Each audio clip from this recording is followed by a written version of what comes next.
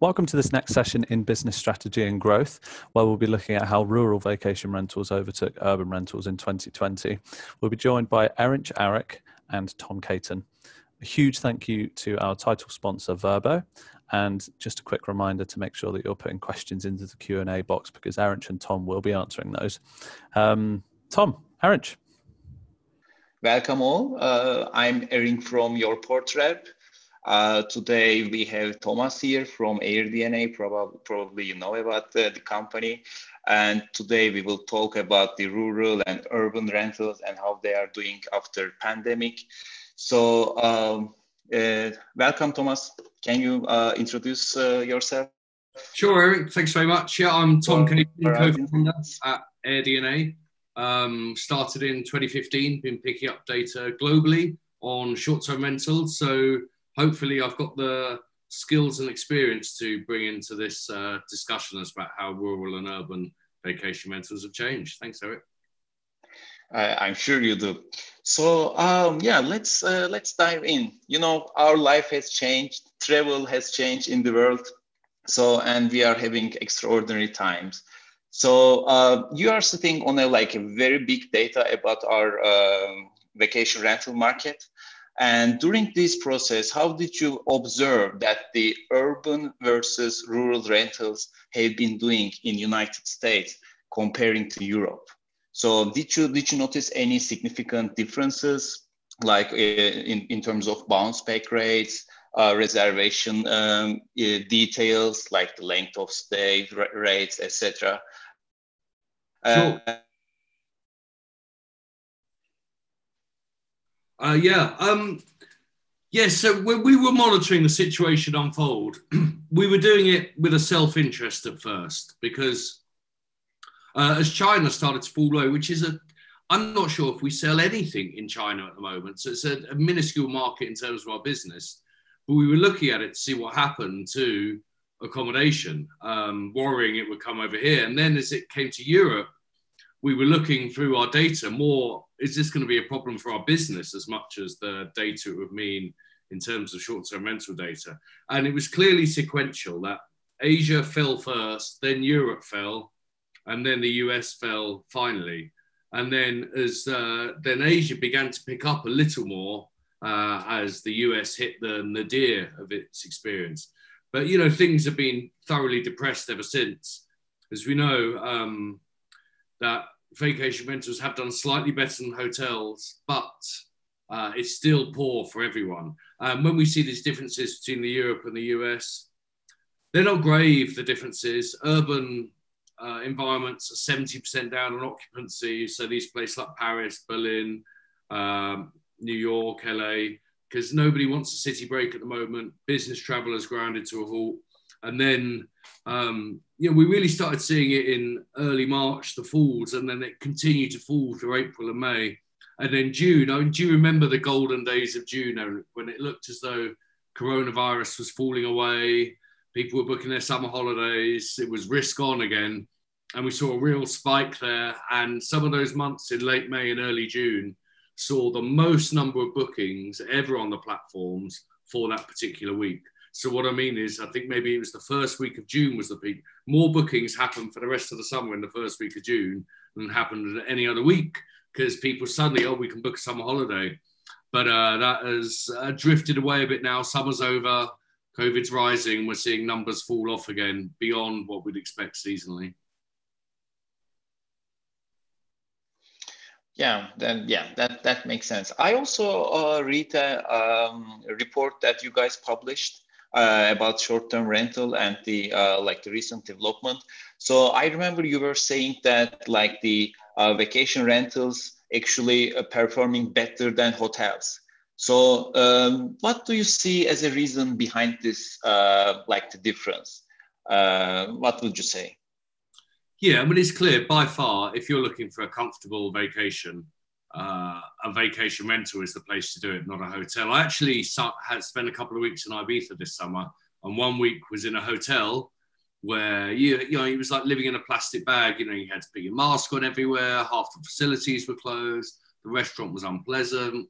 Of course, all the waiters were wearing masks. It was just a really substandard experience. And then the following week, I was in a vacation rental. And as soon as you entered the threshold of your vacation rental, coronavirus was forgotten. You know, it was just the people you were with. You could enjoy yourself with your mask off. There was a pool. And I think people around the world have seen this. In particular, we've seen the real premiums come in for amenities. So when you think in remote destinations, people really value having things like, you know, a swimming pool or a tennis court or anything that's extra and outside that is beyond a normal vacation rental. You see really large premiums for them. But by far, vacation rentals in rural areas have easily outcompeted hotels. And that's happened uh, throughout the world because it's just such a more comfortable experience. And vacation rental, ADR, as in the STR report we showed, uh, it's got a higher ADR than ever uh, for rural areas. Oh, in fact, overall, it has a higher ADR than ever, just because the larger properties tend to have higher ADRs, and that are particularly tempting with people looking to escape the pandemic, whether it be for a couple of weeks or several months.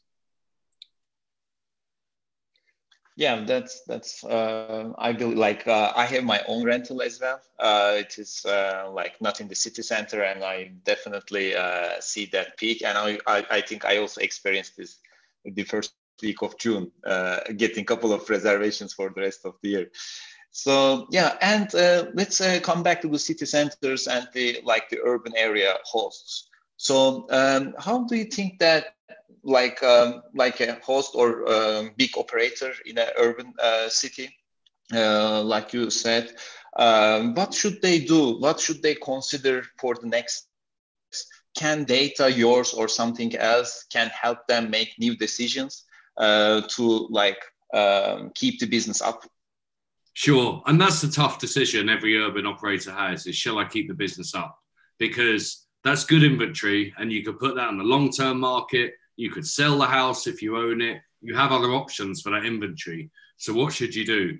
Um, so of course, as a data seller, I would say buy data to help you understand the decision. But the reasons to look at data to help you understand this decision is if you've been unlucky or is, you know, if you, with our tools, you can see how many bookings are happening, what the future bookings are, uh, and it will help you give you all the information to make that quite important decision about your business in general, in general, if you're a large operator in one of these big cities, it doesn't make sense to keep all of your inventory on the short-term rental market. I think what we've seen a lot of operators do is look for the medium-term market. And though you can list those through Airbnb and the traditional uh, travel platforms, it's worth looking wider to other platforms where you can distribute that inventory and get them on where if we look at where, when can you hope to have some resurgence? Maybe next summer if you're optimistic. So you're looking to fill with like six, nine month leases uh, where you'll be able to get your short term rental inventory back. Uh, and that's the problem if you put on the long term market that many, uh, many of the laws around uh, most particularly European cities mean you can't then remove the tenants when you want to put it back on the short term rental industry. But this business is going to come back. It might be one year, it might be 18 months, but it's going to be a super strong business. And I think when people feel comfortable to travel again to cities, it's travel is going to be bigger than ever. There's going to be the pent up demand, the yearning to see the, the sights of these big cities again.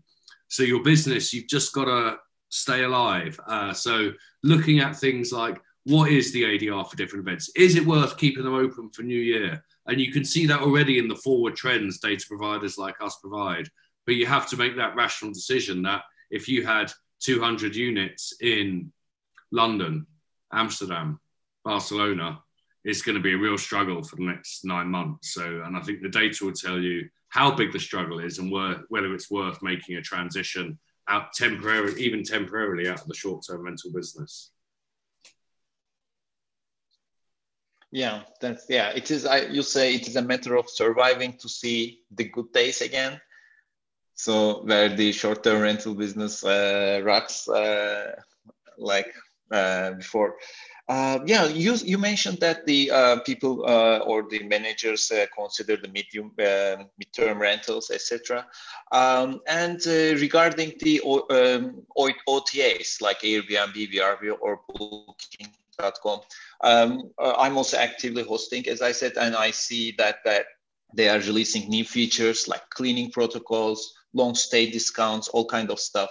Uh, looking from the inventory side and all these new features and the action taken, how, how do you uh, elevate the uh, position of the OTA? Yeah. Uh, pandemic? So the OTAs, I mean, obviously had such a difficult time. Airbnb, oh, it's been well documented how their business really fell apart. They're still looking to IPO in December. Booking.com never realised how lucky it was to get into vacation rentals a couple of years earlier. Glenn Fogel's talked about it's been their shining light. And we can see the behaviour of how they've had to adapt. So looking at our data, prior to March the 10th, the average length of stay was 3.8 days. From from the March 10th to May the 1st, it went up six days and it's remained stronger at four and a half days. So length of stay has changed in the way that is. So people are looking to stay for longer periods of time. Now, some of those are obviously the longer term guests. And the OTAs, I think, have tried to make that a thing that stay month to month, stay for three months. I think they've really done it on the front end way so far and not really done it in the core of their business, being able to offer it for three months. It's, you know, you go to Airbnb long term, there's a different front end, but the policies are the same.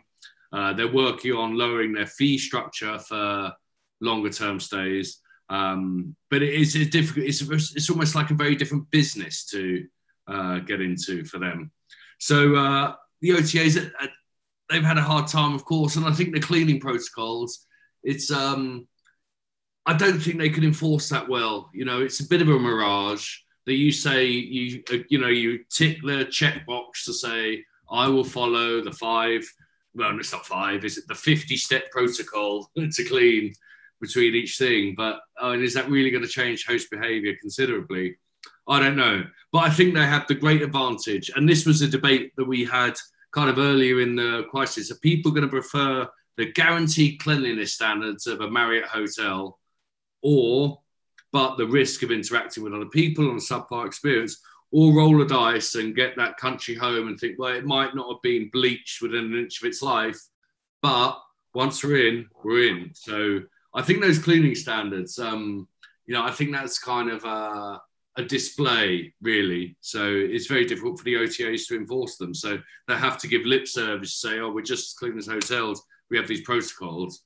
But uh, I think obviously the hotel room will always be cleaner than a vacation rental in general. So I mean, it's good that they introduce those protocols to make guests feel happier.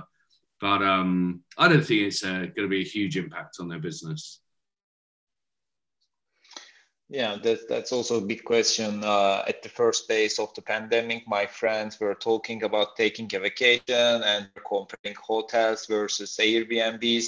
It was it was the question. Hey, these hotels are professional, but on the other hand, I will have the entire home for myself. So it is a tough decision made for travelers.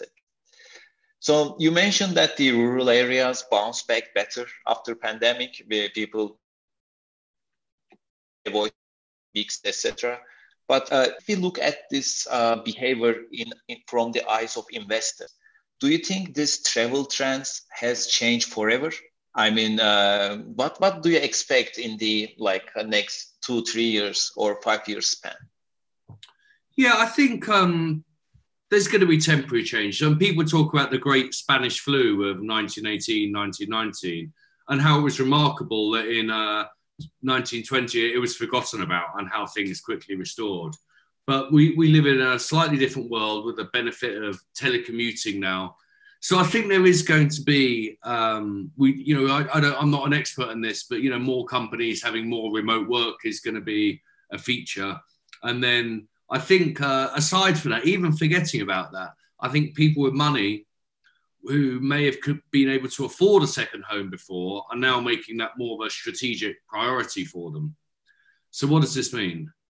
Uh, so, it means, and as we've seen in the UK, house prices are booming in rural areas as people look to secure these second homes uh, whilst keeping, for now, their residence ordinarily in London or in the big cities. Uh, so, there's been really high demand for the purchase price of second homes. But I think for the short term rental investor, I think when we look back in three or four years, that demand for short term rentals in the rural areas will not sustain. I think there will be, when we have a vaccine, there will be, uh, it will recall to where it once was. Now, if you're looking to buy second homes, forget about short term rentals. I think there will be a sustained view. Now we've got a second home, you appreciate it, you enjoy it, you've cut your finances to be able to afford that. And I think we can say for people who are using those second homes, there might be even an excess of supply. Uh, and the prices might be a little depressed in these areas because so many people will have purchased their second homes and not be living in them most of the time as the world is restored. In the short term, of course, short term rentals are going to do very continues to do very well in the rural areas. And really, your bet is how long until there's a sufficient vaccine that people feel comfortable resuming life as they did, or um, is this going to be something that's going to last five, seven, eight years? Oh, the thought of it makes me want to cry. But um, but then that short term rent, those investment in the uh, rural areas will be particularly strong. If I had a long time horizon, say in my city of Barcelona, uh, there are short term rentals that uh, there are no more tourist licenses to give out. But if you buy a property with a tourist license, you know you you'll keep that one you know, if I had the uh, if I had the cash and the long term view, I think in terms of investing, there's a lot of urban short term rentals that uh, could be get for great value, and in two years that will return. So you know, that's uh, my view on um, as a short term rental investor over the medium term is that the rural ones are not going to sustain so much, and, short, and your urban apartments are going to come back booming maybe in 2023 you know, if you can wait. Yeah, I, I, I hope so. I mean, I also believe that with the vaccine and everything, so the life will go back to the normal. Uh, I believe, I hope earlier than we predict. Uh, but I definitely looking forward to it in terms of business and in terms of traveling as well.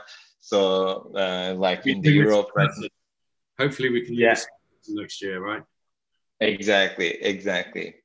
So, um, and besides these uh, questions, Thomas, um, do you have like or your company um, what is the like the um, most maybe not let's say most popular or most obvious prediction you or your company have uh, for the uh, for the next next few uh, months or years? Um, yeah i think uh, what we're seeing really in the sector is i think um, much more of a fusion of property managers and real estate when we look at our customer base, it's significantly more on the real estate investor side than it used to be. Uh, so I don't. I, it's always seemed vacation rentals is a travel business, but I think as people more institutional money has got more comfortable with that Airbnb and the like is here to stay. It's a thing. The regulatory hurdles. It's kind of clearer where that's going to finish up, uh, and particularly with the Airbnb IPO at the end of the year, I think a lot of people in the business need to uh, understand the real estate dynamics far more than they probably do already. And we as a company, I neither me or my co-founder has even bought a house. And you know, with this onslaught of interest from the real estate investor side, have quickly had to educate ourselves about the opportunities and having short-term rentals flow through the ecosystem more. So why on Rightmove they not uh, addressed whether that should be the income that that place might generate as a short-term rental, or on Zoopla, or the you know the British portals, or on Zillow? Because I think that's a real fusion of uh, what is the value of your property is becoming more institutional. So everyone uh, attending host should make sure they're keeping up with uh, real estate news just as much as travel news. I think that's going to be the big change we're going to see in the next year or two. Yeah, perfect. Yeah, good good view. I like it. So uh, yeah, Thomas, once again, uh, thank you for the great insights. Uh, I believe uh, it will be also very uh, helpful uh, for investors, for operators, for even for individual hosts, um, hosting people on different platforms, and um, curious about what's going to happen um, in the future and how we can prepare ourselves. So, um, one, as I said, once again, uh, thank you very much for the information and for your Thanks so much, Aaron. Cheers. Bye bye. Thanks so much, guys. That was great.